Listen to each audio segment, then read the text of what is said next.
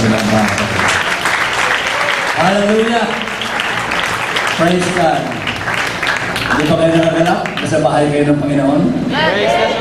Praise God! At ah, ngayong ah, umaga ay ah, gusto ko po magpasalamat na muli ay ah, nabisita po tayo. Ito po ay, ah, ang taong ito po ay matagal kong kasama. Matagal na naging magkasama kami sa sa distrano noon, sa Section 3 pa. Section 3 pa itong district dito, magkasama na kami siya ang sekretary at itinaas siya pang ng Panginoon hanggang naging distrito ito. Siya ang ating kauna-unahang district presbyter ng New Southern Luzon District. Ah, may consider ko sa ministry ko na siya ang aking matalik na kaibigan. Tatlo kami. Ewan ko lang kung kaibigan pa ko dito ngayon. Tatlo kami talaga noon lagi magkasama. Ito, section 3 pa ito. At yung isa naman sa amin ay medyo, medyo lumiko sa kaliwa. Pero kaming dalawa ay patuloy pa rin dumidiretso. At patuloy pa namin nag- nagpipray yun yung taong yun. At as of now mga kapatid, hindi siya po ay nagpapastor sa Queen's Row. Kasama po si kanyang magandang may bahay, Mr. Ross. Dito muna Mr. Ross dito ka. Nagkasimahan. Kasalukuyan siya po ang ating ah, LA President ng Section 1, Cavite. Lahat ng mga nanay, kilala mo si Sister Ross. Baka kami sa Sister Ross. Praise the Lord. Sa kagalakan po na makapili kayo sa umagang ito. Napakabuti ng Diyos. Kung hindi po dahil sa Kanya, hindi po tayo magkakilala. Amen. Yan nga sa, sa- sabi sa Psalm chapter 92 verse 1 to 2. It is a good thing to give thanks unto the Lord and to sing praises unto thy name, O Most High. Amen. Praise God. Hallelujah. Napakabuti ng Diyos mga kapatid at mara- na po yung ating District LA Conference. Isang bagay po ang nais ko pong sabihin sa inyo, ang magpagkatapat po tayo sa gawain ng Panginoon. Nandito po tayo sa level na, na pinakamataas. Amen. Kasi galing na po ako sa iba't ibang sekta. Ah, dati po akong reliyosang katoliko, pero sabi ko, wala doon, malayo ako doon. Pero nung nandito na po ako, nung natanggap ko ang Holy Ghost, masasabi ko, I am complete in here. Amen. Which is the head of all principality and power. Amen. At nandito po tayo sa turo ng mga apostol. Ang sabi ng Biblia, sabi ni Pablo, kahiman kami o anghel manaw sa lupa, mangaral ng iba kaysa aming pinangaral sa inyo. Let him be accursed. So, nandito po tayo sa apostolikong doktrina, nandito po tayo sa tamang pananampalataya, wala po tayong gagawin kundi magpatuloy sa pagkilos, sa pagsamba, sa pagpapasalamat, sa pagkilala sa ating nag-iisang Diyos. Amen! Praise God. Malaya po tayo maghintay sa Kanya. Mamuhay po tayo na may kabanalan. Mahalin po natin ang namiminuno sa atin. Kung mahal natin ang ating magulang, ang sabi ng Biblia, double honor ang ibibigay nyo sa kanila. At doble-doble rin ang pagpapala ibibigay ng Diyos. Sa ministeryo na aming nasasakupan mga kapatid, mapa- masasabi ko sa inyo na ang nagmamahal sa manggagawa ng Diyos, pinagpapala ng Diyos. Amen. At kung hindi nyo pa naaabot yun, huwag kayong mag-alala. Yung mga senior citizen sa amin, kung kailan wala na silang kakayanan maghanap buhay, saka sila nagkaroon ng sarili-sarili nilang bahay at lupa. Milyon ang halaga. Amen. Kaya po mga kapatid, maraming salamat po sa pag-imbita niyo sa amin. At kinagagala po makasama po ang mga nanay sa darating na District LA Conference. Doon po sa beach. Ah, resort po yun. At ah, fully aircon daw po lahat. Thank you po, Pastor. Salamat. At I would like na tawagan ko rin po yung aking best friend hanggang ngayon. Siya po, sabi ko na siyang ating una-unang district presbyter sa ating Southern Luzon District. At nung inibita ko po siya, ay alam mo naman kahit na marami siyang ah, appointment, hindi siya makakatabi sa akin. Welcome, Pastor Freddy Lacroix. Everybody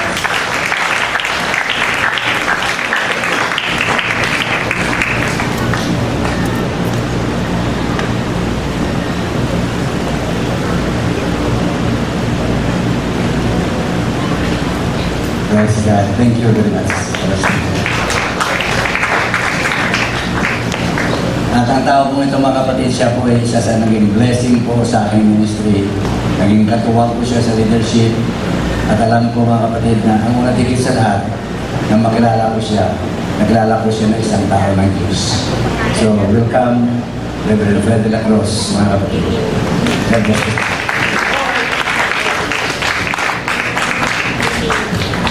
Praise the Lord, everybody. Again, praise the Lord, everybody. Praise God. Una sa lahat ay maraming maraming salamat sa invitation ng ating pastor, Pastor Ed, Sister Grace. Ah, isang malaking karangalan talaga na makapasyal dito sa inyo. And next time, I will invite myself again. Salamat at ako po ay totoong nagagalak na nakita ko lugar na ito na talagang pinagpala kayo ng Diyos. Nung kayo nandun pa sa kabila, ay madalas ako nakakarating noon. At higit-higit sampung doble na binago ng Diyos ang ating pong kalagayan. Pinagpala tayo ng Diyos. But still, I believe the best of God are yet to come church. Marami pa tayong mararanasang kaloob at biyaya ng Diyos na hindi pa natin nakita ngayon. Ako'y naniniwala na maging ang aking pagsiservisyo sa Diyos, kayo, tayong lahat, hindi pa natin na ibigay ng lubusan sa Panginoon. Kaya naman naniniwala tayo na yung pinaka-best ng Diyos ay hindi pa rin natin nakikita. Darating at darating mga kapatid, makikita natin at mararanasan natin sa ating pong paglilingkod sa Diyos. So, purihin ng Diyos at ah, salamat kay Pastor Ed at ah, of course, he is my best friend still. Ah, mga kapatid, ah, ang paglilingkod talaga sa Diyos, there is a lot of surprises. Kung minsan, masusurpresa ka ng problema. Minsan naman, masusurpresa ka hindi problema. Ang susurpresa sa iyo ay blessing. Amen. Na minsan iniisip mo, you are not worthy for this blessing. Pero tandaan natin mga kapatid, isa sa pagkatawag ng Diyos sa atin ay upang magtamo ng blessing na nagmumula sa Panginoon. That is Bible. Habang tayo naglilingkod sa Diyos, kasama sa pagkatawag ng Diyos ay ang mga pagpapalang noon pa man inihanda niya sa atin. Purihin ang ating Panginoon. Praise God. And of course, kay Pastora Irene, salamat din sa kanya na siya po ay patuloy na katuwang ni Pastor Ed sa ministeryo sa lugar na ito. Say, praise the Lord.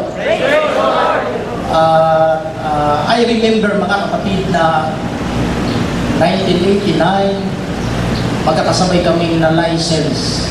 Si Pastor Ed, ako si Pastor Rene, doon sa Nasugbu, Batangas, 1989. At nung ako po ay sumali sa United Pentecostal Church as licensed minister, kami pa lang ang kauna-unahang mga departmental leaders. Yeah, right. Yun. At mga kapatid, sa panahon yun, kakaunti pa lang ang mga pastor. At mga bago pa kami. Pag may mga conference, mga kapatid, iilan-ilan ang mga sasakyang nakikita. At yung iilan-ilan na yun, mga kapatid, pupugak-pugak.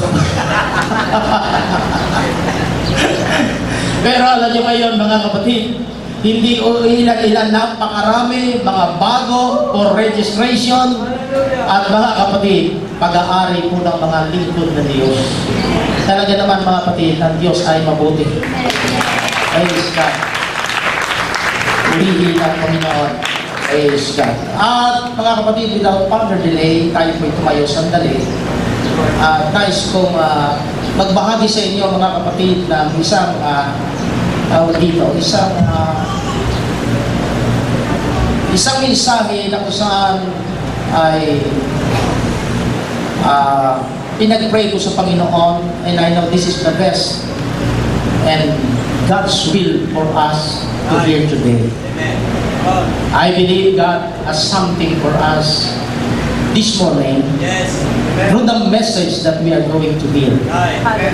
And all of us are always ready to hear message from the Lord. Hallelujah. Ating buksan natin Bible mga kapatid sa Acts chapter 12.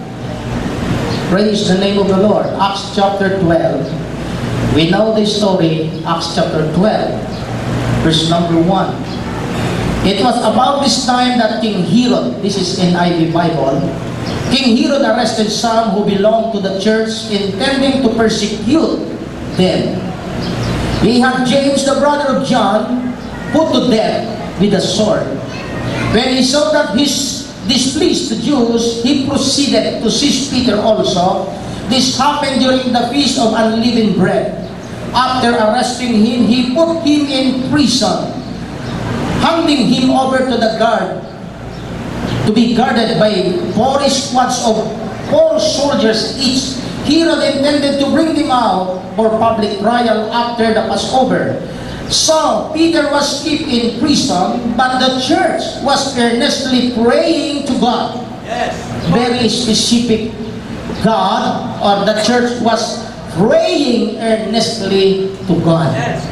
They focus their attention and power and time and prayer to God.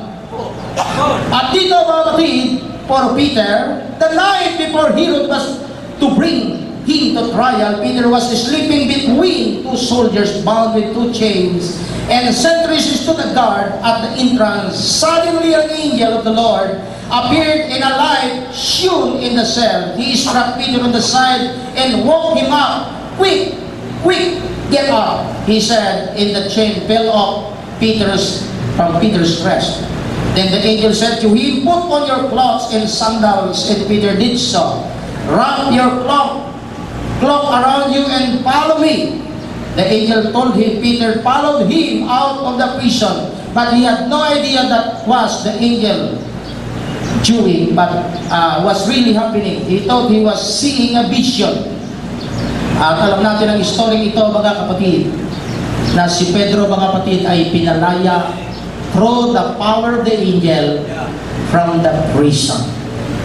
I will I would like to preach on the title God connects the ordinary from the miraculous.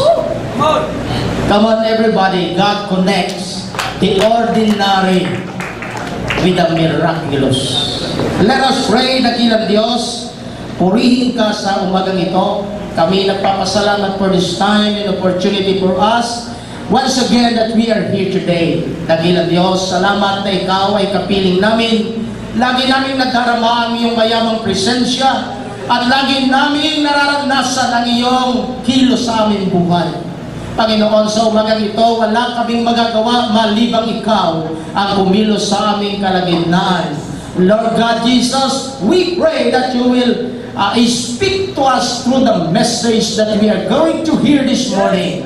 And Lord God, please minister to every one of us today. Bless your servant. Bless everybody. In Jesus' name, amen. Hallelujah. Come on. Clap your hands unto the Lord. Hallelujah. And you may be seated. Hallelujah. God connects the ordinary with the miraculous. Shall we say praise the Lord? Mga kapatid, uh, we are so familiar with the church, New Testament church in the book of Acts. We are familiar that the Bible is telling us that the church was established or founded in Acts chapter 2. And it was happened during the day of Pentecost. Right. That's why I can say the birthday of the church is during Pentecost. Right. And without this Holy Ghost moving in the church, mga kapatid, wala talagang iglesia. Yes. The church was established through the coming of the Holy Ghost. And without the Holy Ghost, I believe, wala pong iglesia itinayo sa ibabaw ng mundo na ito. Say, praise the Lord. And I found in the Bible, mga kapatid, from the foundation of the church in the book of Acts, the church continues to suffer different trials, different affliction, persecution from their enemies. Ang ating pong mapapansin mabuti mga kapatid na some of the members suffered death of martyrdom.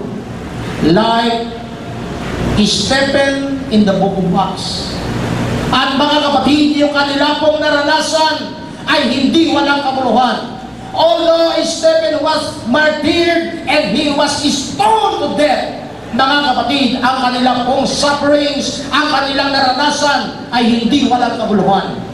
Sabi nga ng isang ah, ah, kasulatan, the blood of the martyrs are the seed of the church. Yung kanilang mga dugo, yung kanilang sakripisyo ay naging tanim at naging daan o mga iglesia ay lalo pang lalago. Let me remind you today, your sufferings, your faithfulness, your worship, your service unto the Lord ay hindi walang kamuluhan. Lahat ng ito ay ginagamit ng Diyos upang tayo po ay kanyang palalaguin pa. Say, praise the Lord. At ako'y naniniwala for many years na ang iglesia ito ay nagpapatuloy. Hindi ho kalabisang sabihin, marami na kayong naranasan. Amen. Sigurado yan. Amen. Kapag naglilingkod ka sa Diyos, nagpapatuloy ng matapat, at naglingkod ka ng may dalawampung taon, hindi mo na mababilang ang mga naranasan mong pagsubok sa paglilingkod sa Diyos. But I tell you, hindi ka tapos, hindi ka graduate.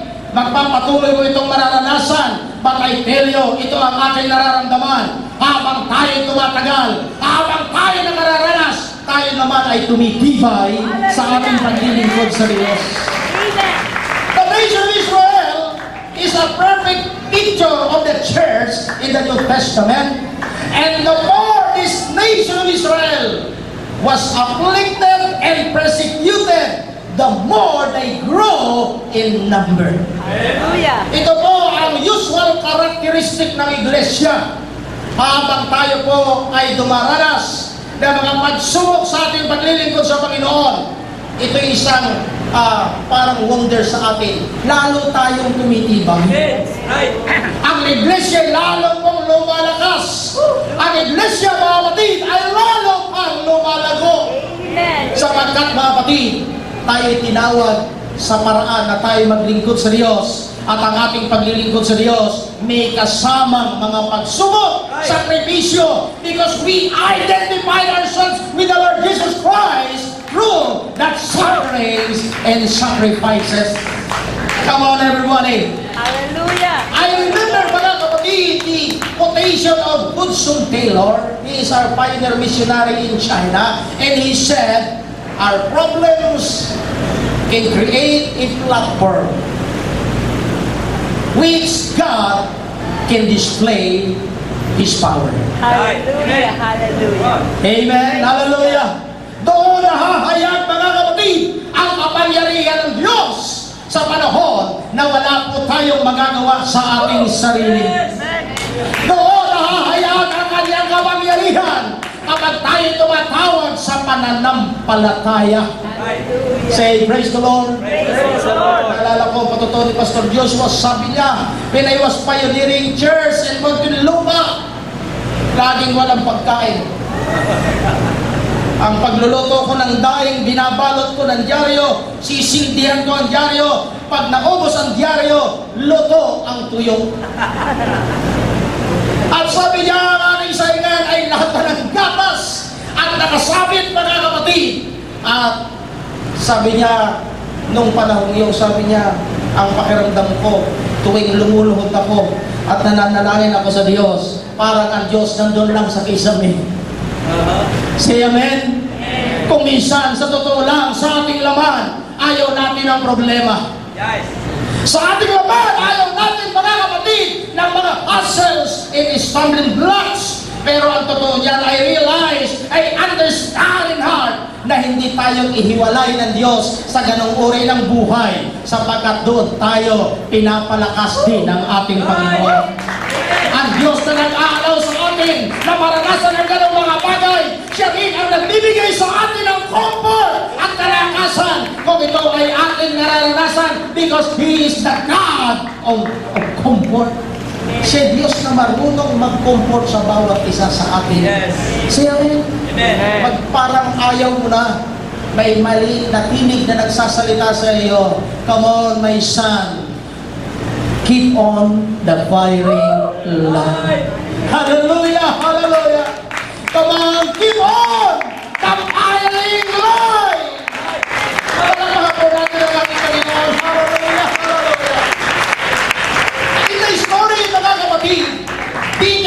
arrested by Herod and was scheduled to be killed the next day. And before his arrest, James the Apostle was already killed by Herod. At mga kapatid, nakaraan siya po ay papatayin the next day. Ang isang bagay, mga kapatid, na mahirap unawain ay bakit, mga kapatid, James and Peter, they were so faithful in the church and the church need their service. But God allowed James to be killed and yet Peter was miraculously saved that night. Minsan hindi natin maunawaan bakit may mga tao pinahintulot ng Diyos na maranasan ang ganong mga bagay.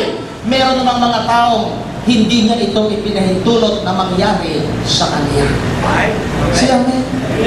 Hindi bang naiisip yan minsan? Bakit may kapatid ka sa Panginoon? Parang hindi na malaman kung saan dadalhin ang kanyang blessing. Pero meron namang isang kapatid sa Panginoon na talaga namang walang walang blessing. Right. Say amen! In the book of Hebrews, mga out there is what we call the victims of faith and the vectors of faith. Yes, that's the Lord. May mga taong namatay na na sila ay dumaranas ng mga pagsubok at sa kanilang buhay, hindi nila natanggap ang mga pangako ng Panginoon. But the good thing in the book of Hebrews says to us, they died in faith. Right. Come on, everybody! They not receive the promises of the Lord, but they died in faith. It's a great thing for us to be dead or die in faith. Yes, yes. Come on, come on. Say praise to Lord. Praise the Lord. At dito po mga kapatid, the very notable miracle in the book of Acts chapter 12 is, mga kapatid, it's not the deliverance of Peter through the angel, but how Peter was able to sleep soundly, knowing he was about to be killed the next day. Lord. Mga kapatid, for me, it was a miracle. Yes. Imagine, mga kapatid, the next day, Peter was to be killed by Herod like what he did to James. But that night, sabi ng Biblia, ang himbing ng tulog ni Pedro. And it's a miracle. Yeah. Alam niyo ba mga kapatid, ang mga mahimbing nating tulog, yan po'y kaloob ng Diyos. Amen. Say amen. May mga tao, mga kapatid, na mga milyonaryo, pero hindi makatulog kung hindi uminom ng Valium 10. Uh-huh. Say amen. Sila'y nagpatayo ng mga kondominium, bumili ng mahal na kama. But I tell you, hindi kasamang binili ng mahal na bahay ang kapayapaan. Yes. Hindi kasamang binili mo ang malambot na kama, ang kapayapaan at mahiming na tulog. I tell you that sound sleep is a gift of God to you.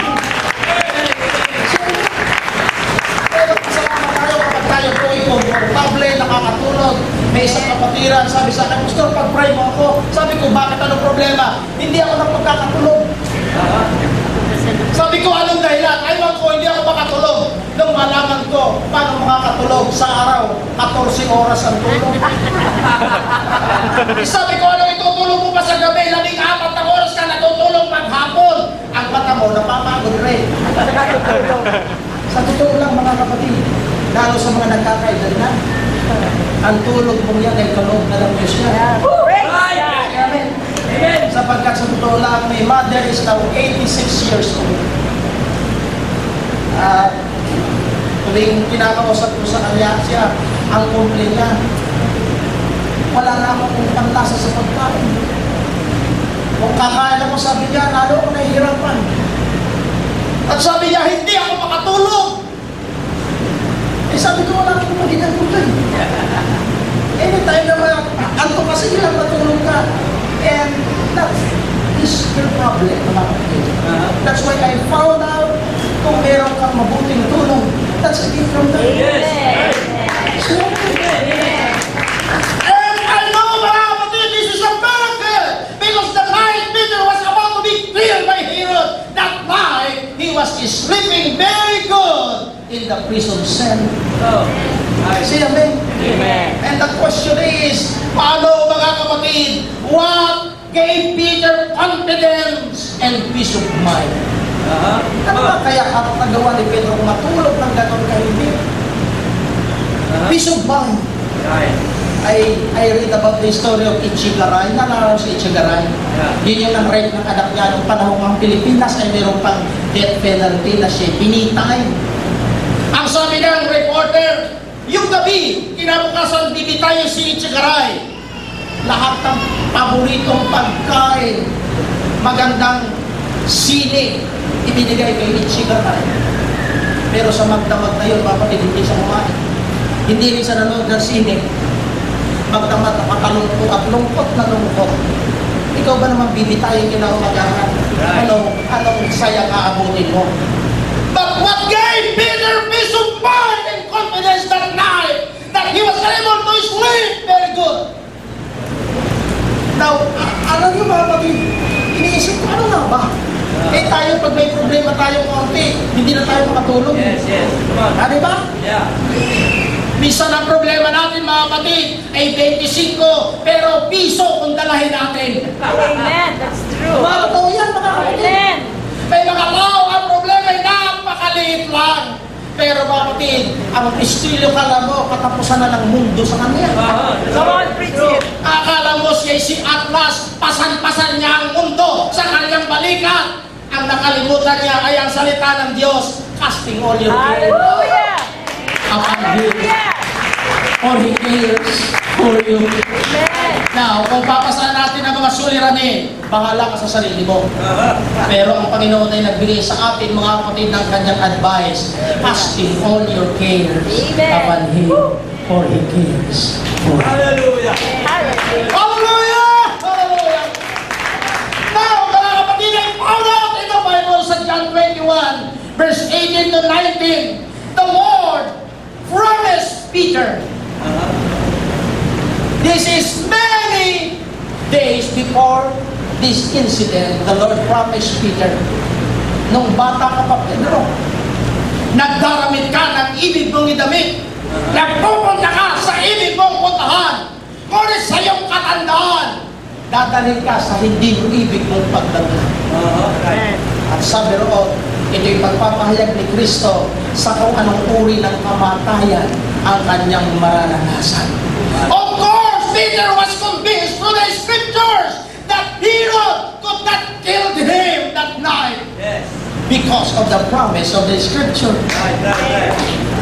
At mga kapatid, totoo nga, hindi po siya napatay ni Herod sapagkat nalalaman ni Pedro, mga kapatid, na ang kamatayang ipinangako sa kanya ng Panginoon is through the death at the cross in the Roman cross.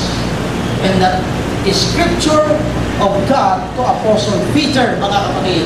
Yan ang naging basihan kung bakit siya po confident, Yeah. meron siyang peace of mind, Yeah. kahit nakaambak ang kamatayan sa kinabukasan, siya po'y nakatulog ng mahimbing Amen. ng gabi. Hindi niya alam kung paano, hindi niya alam kung kailan, but Peter just know that deliverance would come to him before he would. See, Amen. anong ibig sabihin sa atin yan, mga kapatid? Ang scripture, ang salita ng Diyos is our great hope. Amen. Kung tayo nagdaranas ng mga pagsubok, mga kapatid, subukan mo ang salita ng Diyos ay basahin mo at gawin mong personal sa iyo. Amen. Right, right. Come on. At isipin mo na ang Diyos ay nagsasalita sa iyo. And God will give you comfort through ng Biblia. At sabi ko sa Panginoon, Lord, sabihin mo nga sa akin kung paloob ba ako'y umalis o hindi. Hindi ko matandaan doon sa book of Psalms. Binasa niya. At sabi ko, huwag kang umalis. oh, nakalimutan ko, eh, sakto nga eh. Nakalimutan ko yung verse, talaga nakalagay doon, huwag kang umalis. Totoo yan, mga.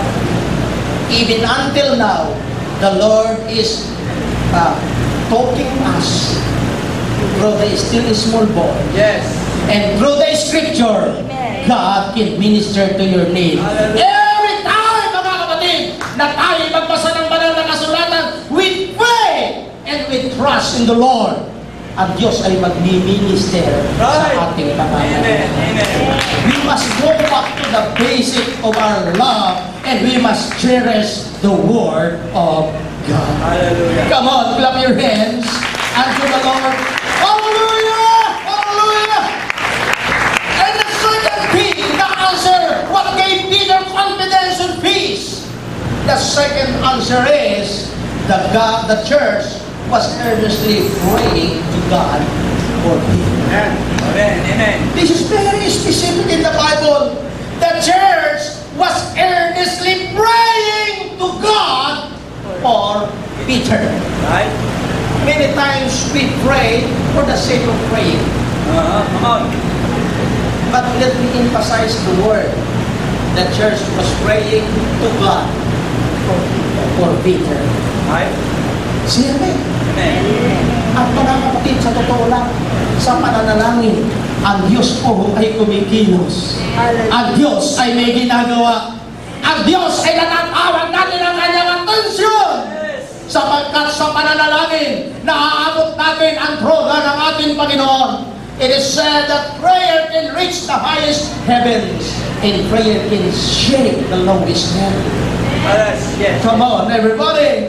At dito po, mga kapatid, ang iglesia ay nanalangin kay Pedro. And I believe through the prayer of the church, God also gave Peter confidence and peace of mind. Right. Right. That's true. Dahil sinabi ng Philippians, be careful for nothing. Yeah. Mahirap gawin yan. Yeah. Huwag kayo mga balisa sa anumang mga bagay. Ay napakarami ng mga bagay na dapat natin itubalisa. But the Bible is very, very emphatic to us.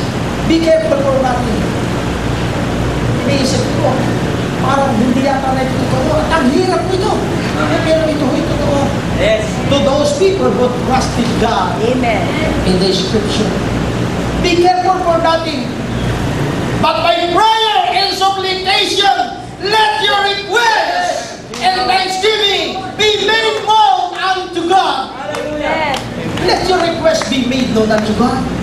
Of course, the church prayed for the release of Peter, and the church prayed for the heart and minds of Simon Peter while he was in prison. And sabi ng Biblia, in the peace of God, will passeth all understanding, shall give your heart peace of mind. Hallelujah. Saya na eh. Isip-isipin niyo mga kapatid. Yung panalangin yun, mga kapatid, nagbigay kay Pedro ng peace of mind. At ang kanya pong puso, mga kapatid, ay ano, kina, ta, ah, inalis ng Diyos ang kanyang pag-aalala. And I tell you, that is miracle. Yeah. Siya, Amen. That's true. sa church mga kapatid, isa po sa sakit ng iglesia ay yung matinding mga pag-aalala ng mga anak ng Diyos. Yeah. Yeah. That's true. Unti-unti po tayong naiisahan ng kaaway na alisin ang ating pagtitiwala sa Kanya sa panahon ng ating mga pangangailangan.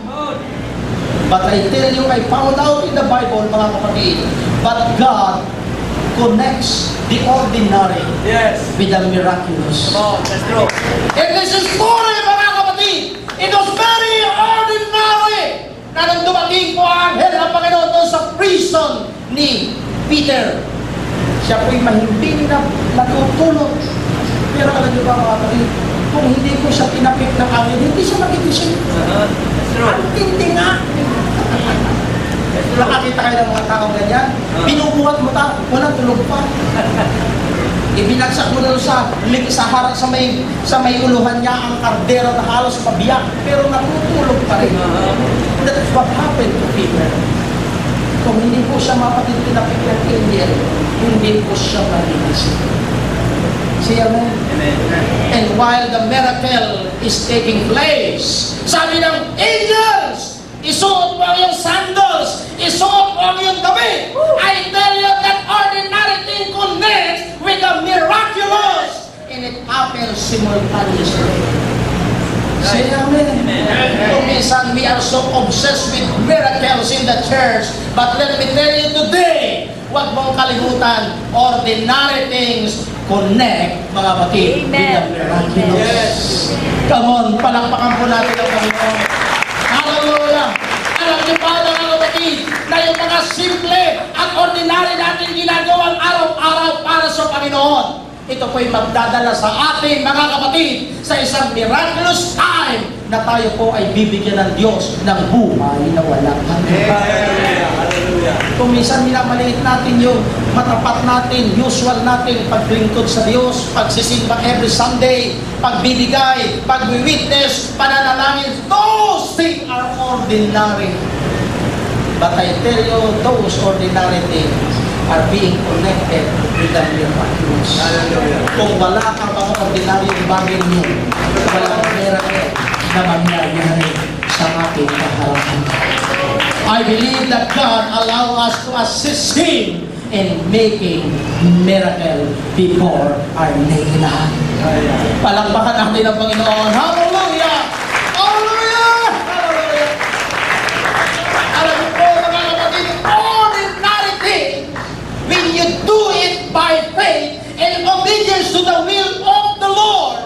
Becomes powerful in the Yes. sight of the Lord. Right. That's true. Ordinary thing. Very ordinary. I give you my testimony mga kapatid. Ordinary things na aking pong nakita, naranasan sa aking paglilingkod sa Diyos. Ito ang nagdala sa akin sa isang paglilingkod na ako po'y nagpasakop sa kalooban ng Panginoon. I was converted 1986 in the ministry of Pastor Patagnan. At ito'y lagi kong tinitestimony mga kapatid. Nung ako ay bago pa sa paglilingkod sa Panginoon, hindi ho isang iglap na tuwid ang buhay ko. Uh-huh. The same with you and me. Kayo ba bigla na lang kayo nabago? Eh, yung iba hindi pa eh. Yeah. Siya mo, Amen. ako hindi ho ako biglang nabago kagad nung ako po'y nabautismuhan. At hindi agad ako nakatanggap ng Holy Ghost. That was after one year I received the Holy Ghost. Uh-huh. At alam niyo ba mga kapatid, meron po akong kapitbahay na dalawang lalaki, pareho silang taxi driver.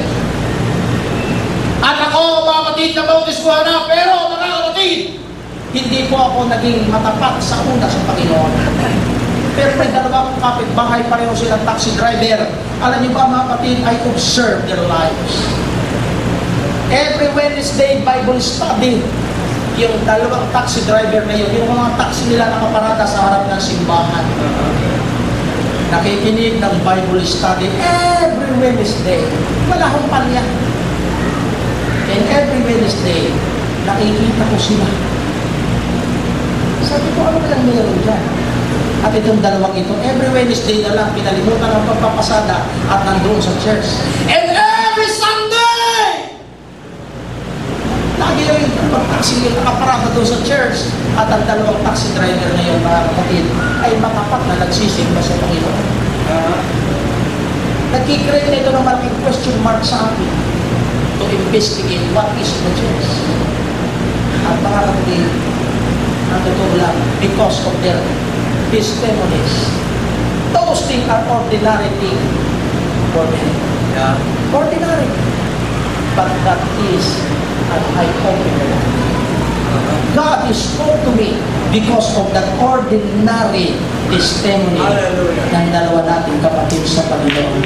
And God changed my life. Hallelujah.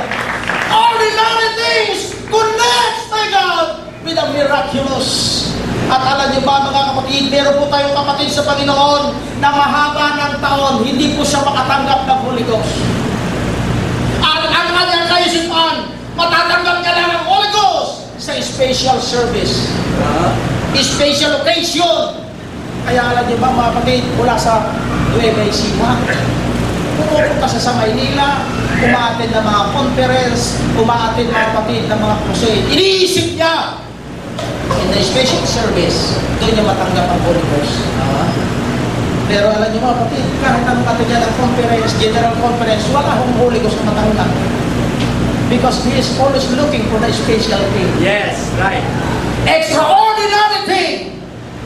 I know God is doing extraordinary, but the people of God must do the ordinary. Yeah. At alam niyo mga kapatid, napagod siya.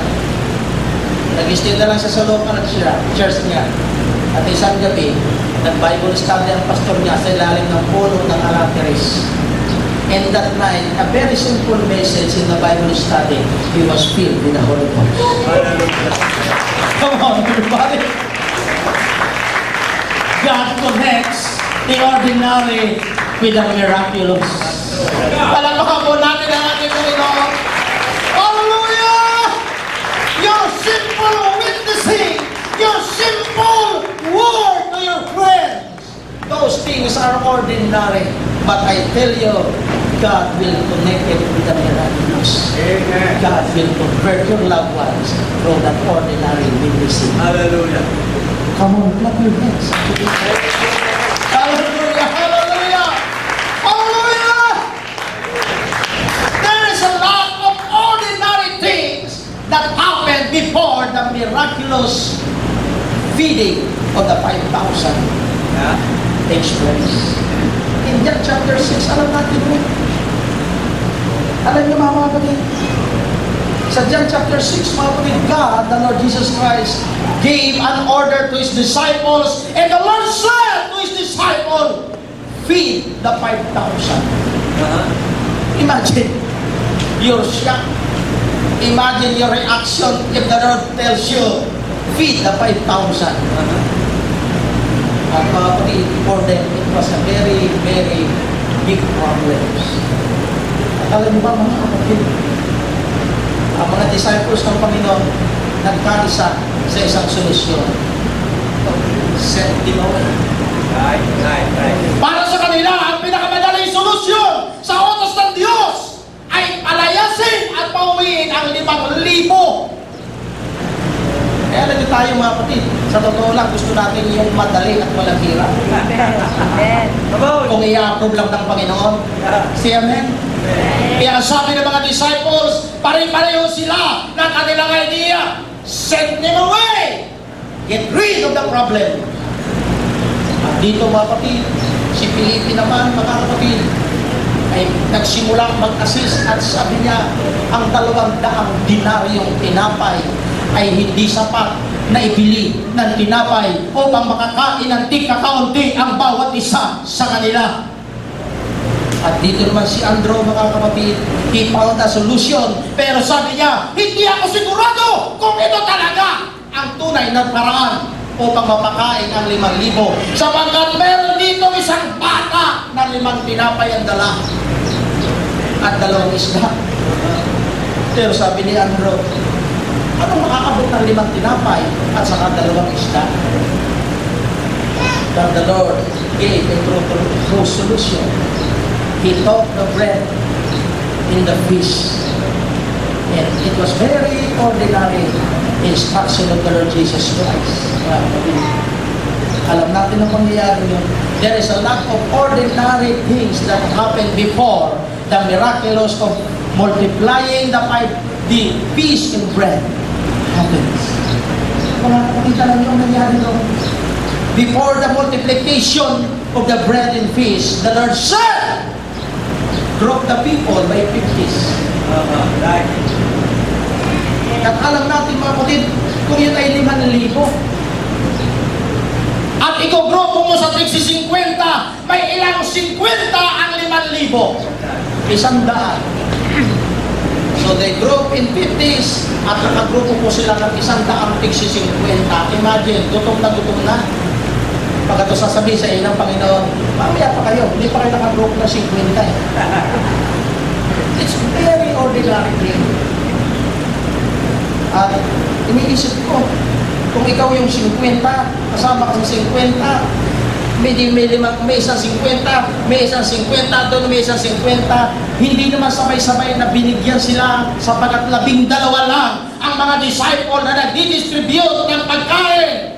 Ako'y naniniwala, no, ang 50 nito ay kumakain na, yung kabilang 50 ay hindi pa kumakain. At sila mga kapatid ay nagugutom na. At siguro yung nagsasabi silang, bilisan niyo naman. Pero one thing I found out, Maaring sila yung nagsasabing, Yes! Okay lang na ako'y naghihintay because I know pagkatapos ng blessing nyo, kami ang susunod na blessing na tatanggap. Is a principle that I found out in the story. If you observe your neighbor is receiving blessing from the Lord, Uh-huh. please understand, you will be the next. Come on, everybody! Kaya nga mga kapatid, ano ba? Nung aking makita ang inyong church na maganda at kayo pinagpala ng Panginoon ng iglesia ng building, I know and I believe in my heart, I am the next in line to receive the blessing. Say amen! At hindi ko pinakailangan mainggit sa inyo. Amen. Say amen. Amen. Because I believe I am the next in line to Hallelujah. receive the Amen. blessing. Say amen! At alam niyo ba mga kapatid, after those ordinary things happen, here comes the miraculous. Yeah. Come on everybody. Yes. And then mga kapatid, alam natin ang istorya. Pinabigay, pinanalangin ng Panginoon. At dito maya-maya mga kapatid, ang limang libong mga lalaki. Lalaki lang yun ha. Eh marami pang susunod-sunod dyan. Mga kapatid, hindi mga lalaki. At mga kapatid, 5,000 people were fed miraculously through five loaves of bread and two fish. Siya mo. Amen. It happens through ordinary things.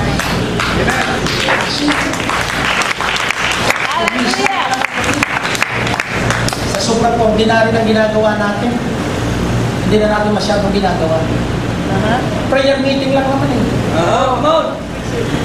Bible study lang naman eh. Yes. Eh, lagi naman ginagawa yan eh.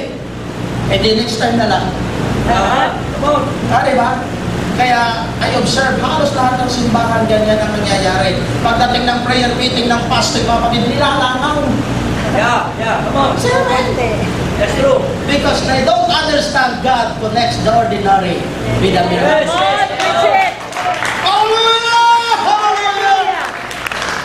Pero kung tayo kapatid sa Panginoon na siya po'y nagkaroon ng cancer ng ay abi sa dugo at siya po'y kinikemo at siya po'y nakalbo na. At tinanigan po siya ng doktor mga kapatid. At siya po'y wala na pag-asa, kumamatay na. Nabenta ang bakery, nabenta ang bahay para ipagamot.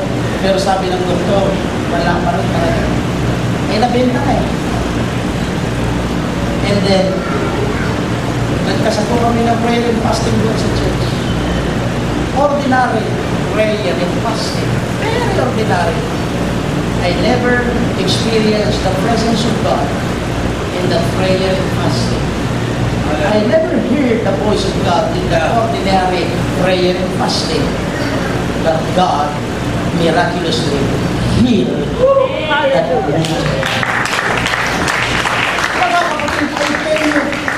Hindi ko ho naramdaman ang presensya ng Panginoon. Hindi ko narinig ang boses ng Diyos. I just observed this ordinary prayer. And God miraculously healed Hallelujah.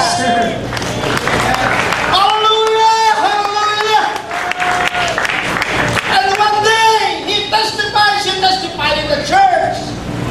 After her healing, sabi niya, nakaupo ako roon at siya nag-testimony, sabi niya, kung tayo nagdaranas ng mga pagsubok sa Diyos, tinitingnan ng Diyos ang ating response Yes. sa Kanya. And I was hit with that testimony. Kapag tayo po'y sumisubok ng Diyos, tinitingnan niya yung response mo. Oh, that's true. Tinitingnan niya kung ano yung behavior mo. That's true. Tinitingnan niya kung saan ka tatawag at sinong pananampalatayanan mo. Yes. Mga kapatid, tumitingin siya sa iyong pananampalataya. That's true. That's true. And I tell you mga kapatid, God connects the ordinary with the Amen. Come on, everybody, clap your hands. And to the Lord! Hallelujah!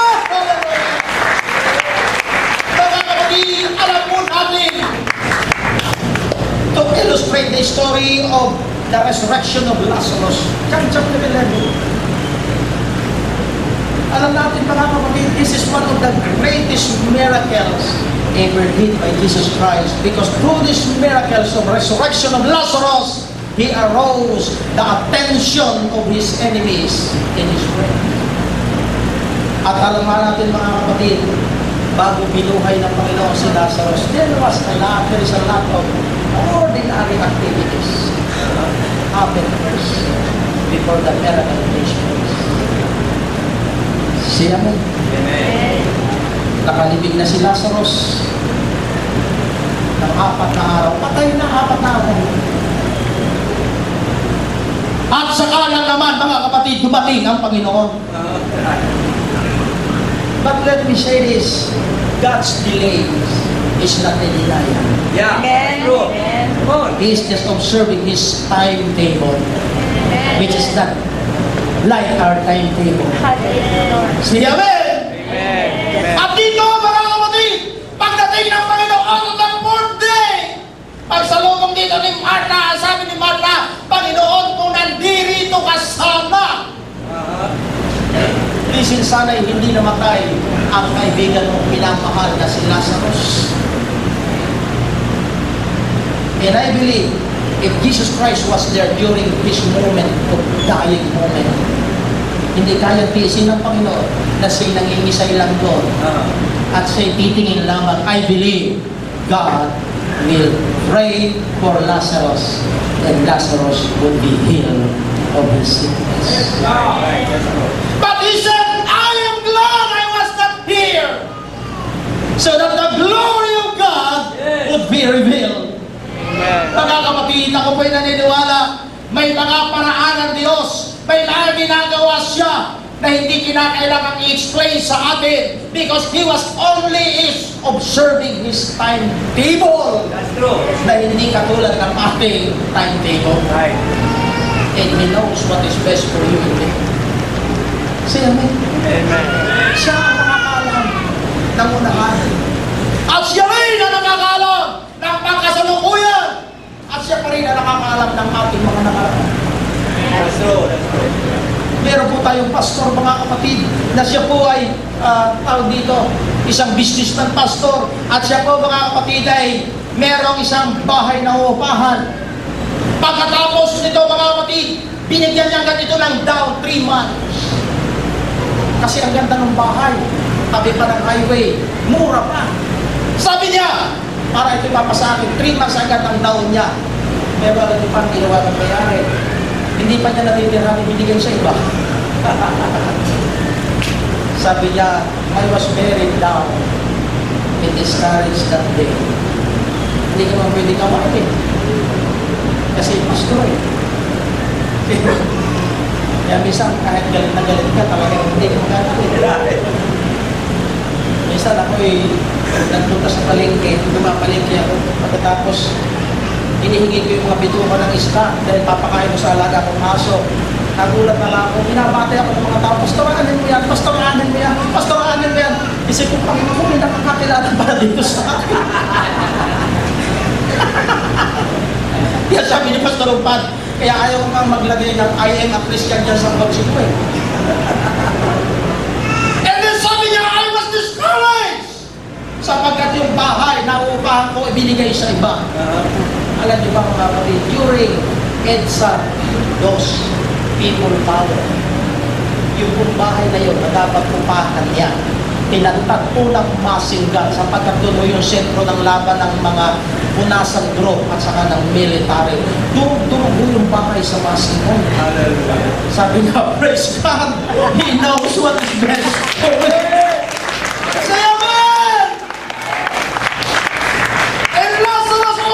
Said, Lord, kung nandito ka lang, hindi sana namatay si Lazarus na kaibigan mo at mahal mo sa buhay. Yun mo tayo eh. Si Martha, si Mary, yun yung paninisi sa Panginoon. And they are just representing us. Yeah, that's true. Say amen. Yeah. Totoo lang, lahat naman tayo ganyan eh. Yeah. And you know, the theme of John chapter 11 is about faith and about the glory of God. It is not important for the Christian to be comfortable. What is important for us is to glorify God whatever we do in this life. At dito po mga kapatid, sabi ng Panginoon, saan niyo siya inilibing? At kung makita ni Jesus Christ ang libingan ni Lazarus, the Bible tells us, Jesus wept. Yeah, that's. That is the shortest verse in the Bible, but it's the deepest Yeah. verse in the Bible. And I found out, mga kapatid, na dito po sa sa John chapter 11 na ito, atin pong pansinin mabuti na si Lazarus namatay ng apat na araw. Kamamahula. At nung makita yun ni Jesus Christ ang libingan niya, hindi niya napigil na payak siya. Truly, he loved Lazarus. And he was concerned. And why Jesus Christ wept? In his omniscience, alam naman niyang mabubuhay siya at kaya niyang buhayin si Lazarus. But still Jesus Christ wept. Right. This is just a message to us that He is sympathizing Yes, to us as human beings. that's true. And He knows our sorrows. Hallelujah. He knows our pain. Alam niya ang ating pinagdadaanan. And I found out mga kapatid why Jesus Christ wept. Sa totoo lang, walang isa mang presente sa lahat ng taong nanduroon. Even His 12 disciples believe on Him that He would able to raise Lazarus from the dead. Yeah. And Jesus Christ cried because of their unbelief. Yeah, that's true. I believe. May dalawang bagay na ang Diyos ay nagmamangha sa tao. First of all, God marvels at your unbelief. Yeah, I believe. That's true. And secondly, He marvels at your faith. Both of your faith and your unbelief, God marvels at you. Mga kapatid, atin pong pasining mabuti! Sabi ng Panginoon kay Martha, remove the stone. And Martha quickly said, Lord, four days na. Mabaho na yan. Uh-huh. But Jesus said, remove the stone. Roll away the stone. And that is ordinary thing. Yeah. Before the miraculous takes place, Hallelujah. we must observe ordinary things. Yes. in this life. At nandun nga mga kapatid, when the people removed this stone, Jesus cried out at the top of his voice, Lazarus, come forth! At alam po natin mga kapatid, si Lazarus kapatid ay lumabas doon sa kanyang libingan. Yes. Sabi ng isang komentaryo, kung hindi pinangalanan ni Kristo si Lazarus, lahat ng patay na nakarinig ng kanyang tinig na bumangon, lahat sila ay babangon. But the Lord specifically said, Lazarus. Come on everybody! Come on everybody! Kapatid, na ang ordinary mga bagay na ating ginagawa every day in this life. And sometimes we don't appreciate those ordinaries. But let me remind you, God connects ordinary day with the miraculous. Mamana ng buhay na walang hanggan at tayo lilingon na lang sa ating mga pinanggalingan at sa ating mga ginawa and those things that went down in His life were all ordinaries. Yes, Lord. Thank you, Jesus. Pero ang ipinalit ng Diyos, Excellent. eternal life, everlasting life. Hallelujah. Thank you, Jesus. Hallelujah. I believe in my heart from that night on. Every time na isuot ni Pedro ang kanyang sapatos, he was being reminded by the Lord. About the prison miracle. Amen. And it encouraged him to be more faithful to the Lord That's in his service to Him. Hallelujah. Hallelujah. Hallelujah. Hallelujah!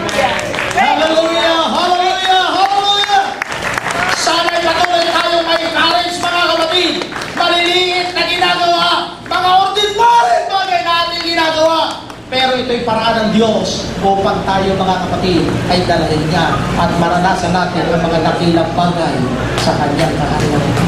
Palakpakan po natin ang ating Hallelujah! Hallelujah! Oh, blessed be the name of the Lord! Hallelujah! We know, mga kapatid, Jesus raised Jairus' daughter from the dead. Then the Lord told to her parents to give her something to eat. Even in miracles, God is always practical. Yeah.